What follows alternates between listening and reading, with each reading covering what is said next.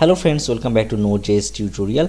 In this video, we are going to discuss about how to use delete API with Node.js, right? So in our previous video, we are going to discuss about the API tutorial series with Node.js and Express with the MySQL database, right? So already discussed about how we can use the GET API, how to use the POST API, and how to update data or put API. And in this video, uh, we are going to discuss how to create a delete API so we are using express.js and we are using the json formatted data for api and for testing purpose we are using the postman right? And we created uh, this routing with express. And here i just going to create another routing that is app dot delete so we'll uh, so we're going to learn about the delete api and obviously it will take re uh, request and response and obviously this is a call function right? And here we need to use the delete operation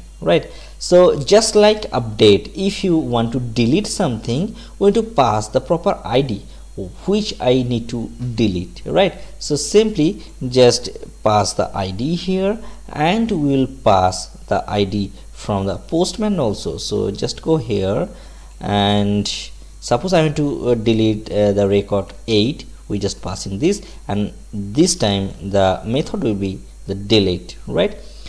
And let's build the logic. So simply just uh, write the query first and connection dot query and here we need to use the delete query. So simply write delete from the table name that is students okay and where is the error actually? We need to start with a semicolon. So simply write not semicolon let us say invite comma. Delete from students where id equal to the student id so how it will get the student id so let's close this. So let's check whether we are getting this id from the route or not. So let's check how we can get. So simply write console dot log and we are getting the id from the request. So simply write request dot params dot id right?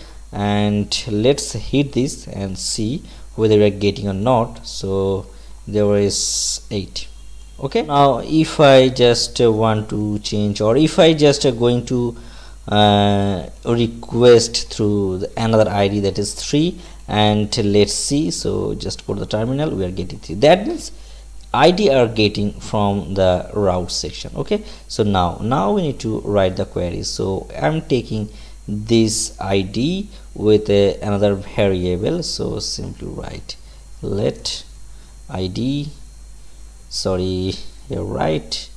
Let student id equal to request dot parameter dot id and i need to pass that things from here. So just write in this way. And not here actually. We need to pass with this right? So by using plus we can concatenate. And the thing is this the query and we will pass the second parameter as a um, closure function that is the array sorry that is the error and result right? And inside here just create another arrow function and just like previous just copy here okay? So if anything error found in uh, this uh, in this route it will throw the error otherwise uh, its response is not it will not throw error actually. Uh, simply to throw the error we can write throw error that means it will throw the error. Simply if I just write here all places it will be good. Okay? So basically if I just do send that means it will only say the error but not getting the proper error message. So simply write error. Okay? So these are good.